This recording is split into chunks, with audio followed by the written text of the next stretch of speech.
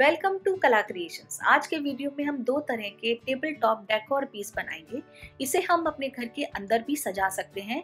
इसे हम drawing room में, डाइनिंग में, लिविंग रूम में, हम कहीं भी इसको अपनी सेंटर टेबल पे, अपनी डाइनिंग टेबल पे या किसी घर के छोटे से कॉर्नर में सजा के हम ग्रीनरी का भी आनंद ले सकते हैं। इसको बनाना बहुत ईजी है तो चलिए शुरू करते हैं। अब इस तरह की मैंने ये थोड़ी सी शैलो जो ट्रेज आती हैं, एक राउंड ले लिया है और इस तरह इस तरह की लंबी मैंने दो ट्रे ले ली हैं। अब बात ये आती है कि जब हम कोई ट्रे बनाते हैं तो हम इसमें एक फोकल पॉइंट देते हैं। या तो हम इसमें कोई बड़ा प्लांट लगाते हैं तो उसकी जगह मैंने ये रॉक ली है। तो जो भी हम लेते हैं, वो हमारी ट्रे की लंबा, जितनी हमारी चौड़ी ट्रे है, उतना तो हमारा ये रॉक या प्लांट होना ही चाहिए। उससे हम थोड़ा एक दो इंच और ज़्यादा ले सकते हैं।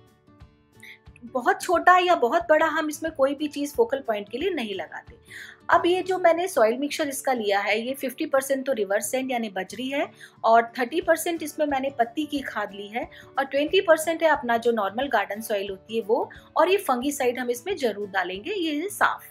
और इसमें एक मुट्ठी मैंने इसमें लकड़ी के कोयले का, जो छोटे छोटे टुकड़े को करके वो लकड़ी के कोयले ले लिए हम ये जो सॉइल मिक्सचर हमेशा तैयार रखना चाहिए हमको जो सर्कुलेंट्स के लिए, और हम जब भी यूज़ करें तो फंगीसाइड हम इसमें डाल के तैयार रख सकते हैं।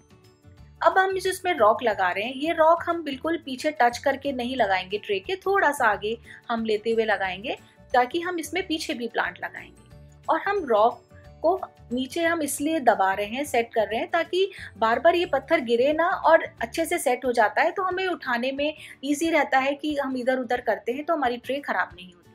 अब ये मैंने छोटे छोटे एचेवेरियाज ले लिए हैं, जिन्हें मैंने पत्तियों से ही आराम से ग्रो किया है। और जो एचेवेरिया जो अपने पास है, जो आप प्लांट लगा रहे हैं सकुलेंट का, वो सबसे बड़ा जो हमारा होगा मतलब वो हम पहले लगाएँगे रॉक के सहारे और इस तरह हम इसका हाफ़ सर्कल बना लेंगे।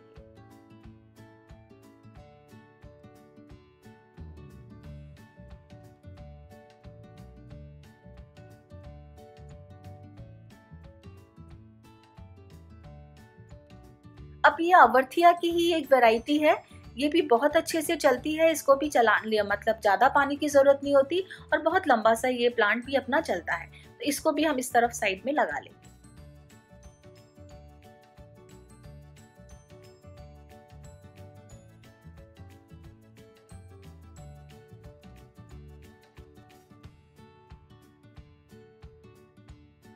अब हम इस रॉक के पीछे भी एक प्लांट लगाएँगे।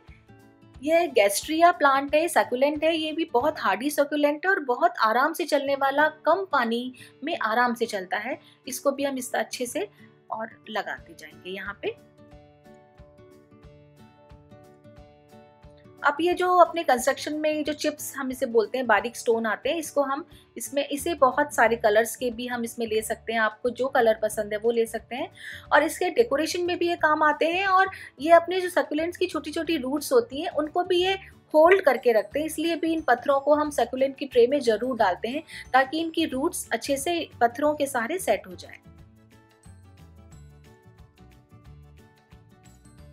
अब ये बारीक सैंड है, जो फ़िश एक्वेरियम होते हैं, उनमें आराम से मिल जाती है। इसे भी हम कलर पानी का थोड़ा लुक देने के लिए हम बारीक सेंड को इस तरह डाल देंगे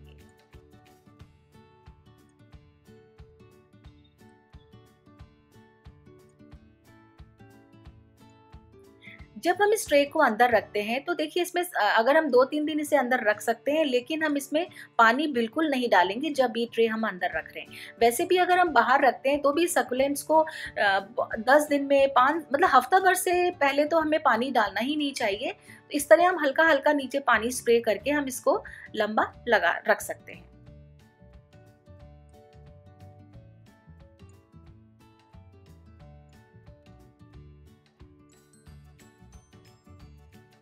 अब ये जो चीड़ के जो होते हैं, जिसमें चीड़ का प्लांट होता है, पेड़ होता है, उसमें ये छोटे छोटे लगते हैं और ये जो कलर्ड है, इसे हम कलर्ड कर भी सकते हैं, नहीं तो ये मेरे जो फ्लावर बुके जो आते हैं, मिलते हैं, उसमें इस तरह से लगा हुआ आया था तो मैंने इसको यूज़ कर लिया और ये जो है, अपन पेंट करके भी हम इसे तैयार कर सकते हैं। अब ये अवर्थिया है, इसको भी हम इस तरह लगा देंगे।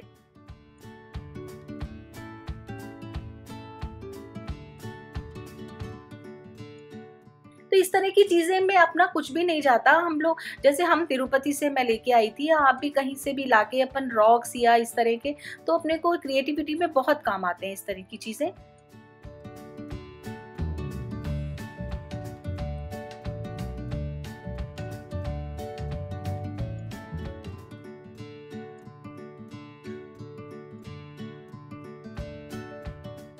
अब ये जेली बेली सीडम है, ये भी एक छोटी पत्ती से भी आसानी से ग्रो हो जाता है और इनको भी कम पानी की ज़रूरत होती है। कम पानी में आप इसे बहुत लंबा अच्छे से चला सकते हैं।